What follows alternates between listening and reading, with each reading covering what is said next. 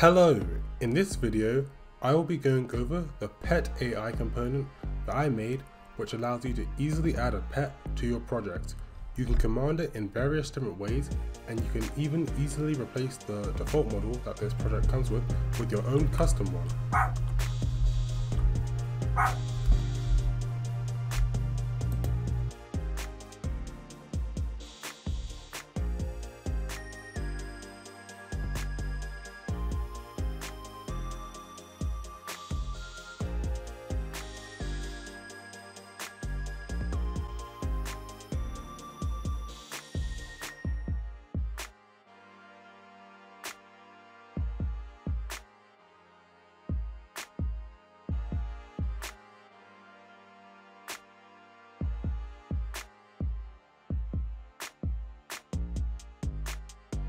In this video, I'm going to go over how to transfer the Dog AI asset pack to your own custom Unreal Engine projects.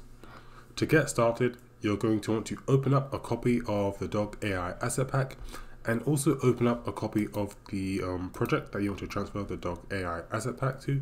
So I've created this blank project, which I'm going to use as an example in this video.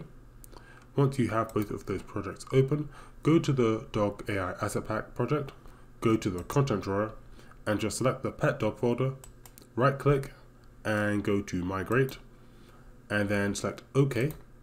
Then find the project that you want to transfer the asset to. To find the project, just go to your Unreal projects and then find the project. So I called my project dog transfer, open it up and then select the content folder of the project you want to transfer it to, then go select folder. This will transfer all of the folders from this project to um, the project that you want it to. Then we just want to go over to the content drawer, go to the third person, and find the character that's going to be commanding the dog. So I'm in a third person template, so I'm just going to open up the BP third person character. We just want to go to components and go add and look for the dog command component. This allows us to command a dog. And then if we just go back to the original dog project, and go over to the demo folder and to the third person BP and open up the third person character. We can just copy um, these nodes here. So this basically allows us to open up the um, radial menu, which allows us to control the dog. And it also just allows us to basically command the dog with the left mouse button. Just press Control C, go to the dog, um, to the project you want to transfer, and just paste this in the character that's going to be controlling the dog. We can just compile this close this and then inside of this project we just want to go over to the pet dog folder find the blueprint folder and drag in the dog blueprint and also just drag in the tennis ball. Then in order to make it so the dog can move around we just want to go to quickly add things to the project and we want to find all classes and just look for the nav I mean this one the nav mesh bounds volume. This basically allows AI to move around in Unreal Engine. Press the P to see um, the area that I can move around in and then just go to select and scale objects and just scale this across the whole of the map. That way the dog can move across the whole of the map. And then this dog will basically automatically be assigned to us. If I go play, we can see the dog comes up to me. I can press the Alt button it'll bring up all the commands I have. So I can make it sit down and the dog will sit down. I can make it bark and the dog will bark. My um, speakers are a bit loud so you probably didn't hear the audio. I can play fetch with it. So with fetch, you just want to select the tennis ball, it'll bring it up in your hand and then you can throw it. The dog will run over towards the ball and it will fetch it for us. So the dog will pick it up. Once it has the ball, it will come back to us with the ball in its mouth. Then I'll drop it and then we can play fetch again if you want to do that. And um, with that, we basically transfer the dog to our to your custom project. Hello, in this video I'm going to be showing you how to replace the original model that comes in the Dog AI asset pack with your own custom model. For this example, I'm going to be using a dog model that I found on the Unreal Engine Marketplace. So, to get started, we're first going to create an animation blend space and an animation blueprint for our new dog model. So I'm just going to right click inside of this folder, go animation, then select legacy, then select blend space 1D, then I'm going to select this German Shepherd Skeleton. This is the um, dog model that I want to replace it with. and I'll just call this my um, German Shepherd blend space 1D. Inside of the blend space for the model that you are creating, we're going to need the idle animation, so I'm just going to look for that. And we're also going to want the running animation. Place the idle animation where it's 0, and then place the running animation where it's at 100. So I'll just look for this run, and I'll place it at 100. Then if you just press the control button, we can see the um, animation transition between its idle and its running. We can save this and close this. Then if we just right click and go animation and create an animation blueprint, select the um, skeleton of the new dog model that you want to replace. And I'll just call this my German Shepherd animation blueprint. Open it up and then briefly close this and go over to the pet dog folder, to the dog folder, to the animations folder, and open up the dog animation blueprint. And we just want to copy everything inside of the event graph. So I'm just going to select it, press Ctrl C, then go over to the German Shepherd animation blueprint and go over to the event graph. We can delete this and just press Ctrl V to paste everything. Then click compile and just right click on this variable make it a variable, make this a variable, make this a variable, and also make this a variable. Then just go compile. Then we want to go over to the animation graph, right click and look for state machine, drag off here and look for default slot, and connect this into here. Then head inside this state machine, then go back to the dog animation blueprint, and go over to the animation graph and head inside the state machine and just copy everything. Then just paste it here and connect into here. Then go to the dog um, blend space 1D delete this and replace it with the German or whatever your blend space that you created and just connect it into here and this into here then we go back to the new state machine head to the dog sit down animation so this should be the animation of your dog sitting down I'm just going to head inside here delete this and find my dog sitting down. So we want the transitioning from standing to sitting. So this should be an animation of your dog in its standing animation transitioning to its sitting animation. So I'll just connect this here. Then for the sitting animation, this should just be an animation of your dog sitting. So I will head inside here and just drag in one of the sitting animations. And then for the stand up animation, this should be an animation of your dog going from a sitting animation to a standing up idle animation. So I'll head inside here, delete this, and then find the transition from sitting to standing animation. Then we just want to go to this um, little thing here, head inside here, and just delete it. And instead, right click and look for time remaining. And we want this one time remaining of whatever your animation is called. So mine's called transitioning from standing to sitting and just connect that into here. Go to the new state machine and then head to this one and delete it. And we just want to right click and look for time remaining. And we want time remaining sitting to standing and connect this into here. Then if I just click compile and I select the sitting, if I click this is sitting variable, it should make the dog do a sitting animation. Then it'll enter the sitting animation. And if I just uncheck this, the dog should do a stand up animation, then transition back to its dog blend space 1D. So with that, we have set up the animation blueprint for our dog. We can just compile this, close this, and then we just want to go over to the dog blueprint folder, go to the viewport, select the dog mesh, and just change this to be um, whatever your new dog is. And for the anim class make it use whatever the animation blueprint is.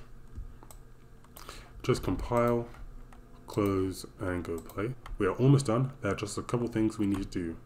You may notice the dog um, is kind of flickering between its idle and running animation. That looks a bit weird. And some commands like the fetch and the bark aren't going to work.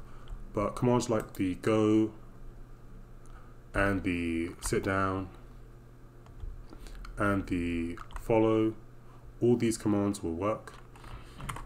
So let's go over how to fix the other settings. So in order to fix the transitioning of our dog between its idle and its running animation, if you just go over to the German Shepherd blend space or your dog's blend space and look for weight and sorry, I think we want sample. Yeah, sorry, we want this one, sample smoothing. And for the weight speed, I found a value of 5 works pretty well. And this will just make it so it transitions between our dog's idle and its running animation a lot smoother. So as you can see, this is a lot smoother.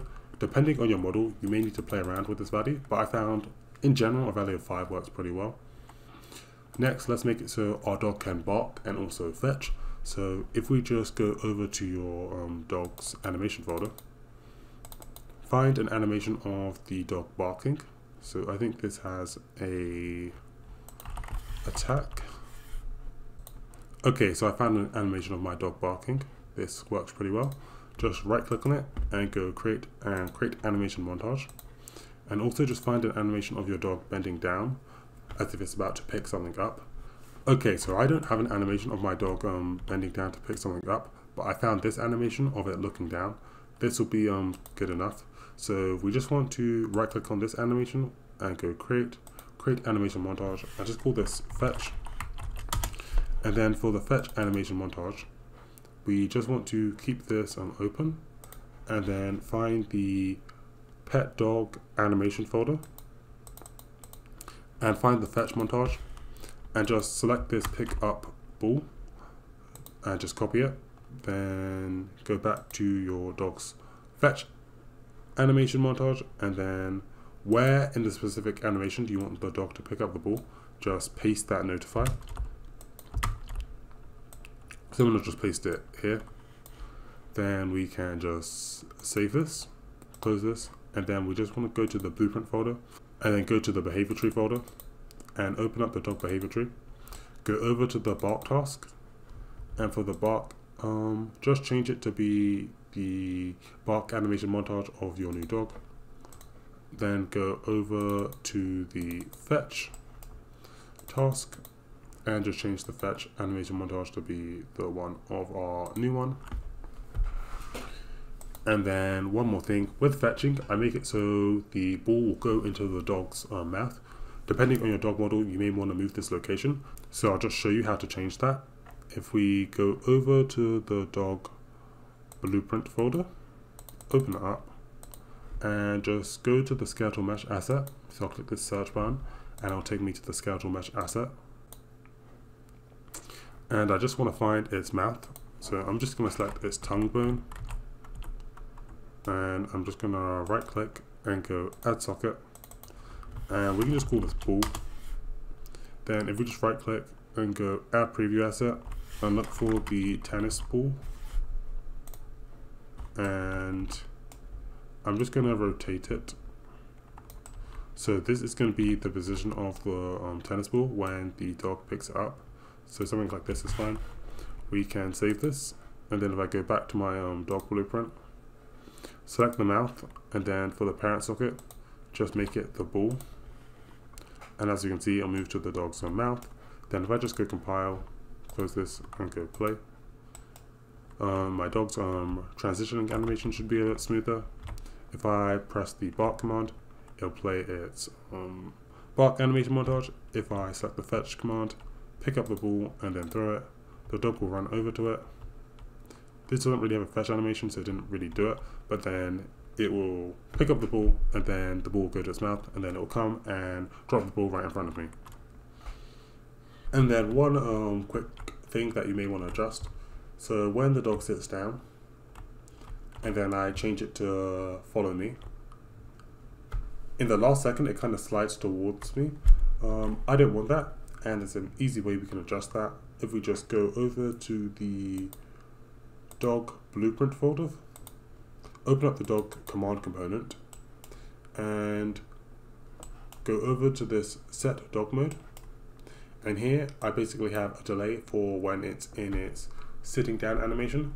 If I make this almost like two seconds so it's a bit longer. That'll basically mean it's going to take two seconds for my dog to basically transition from its sitting down animation to any other animation and that should prevent the sliding. So if I just go sit down and then follow, it won't slide, so it'll just be a bit smoother. So you may need to increase or delay that depending on the speed of your animation, or of course you can just increase or decrease the speed of your animation. So uh, that's all. Oh, and I almost forgot one more thing. If you want to change the images that are on the radial menu, I'll just go over how to do that now, because right now I've set it to be this low poly dog image. If you want to change it, just go over to the pet dog folder, find the menu, open up the dog menu widget blueprint, and if you just go over to the graph and go over to this spawn icon images um, bit, basically here is where I set the images for the radial menu. So if you wanted to change the barking animation image, you'll change this one here, this attack underscore T image. If you wanted to replace the sitting down um, icon, you'll replace this one. And if you wanted to replace the move to icon, you would replace this one, and so on, and so on. So there are only one, two, three, four, five, six. So in total, I think there are like seven commands that you can give the dog. And here's where you basically change the images if you wanted to do that.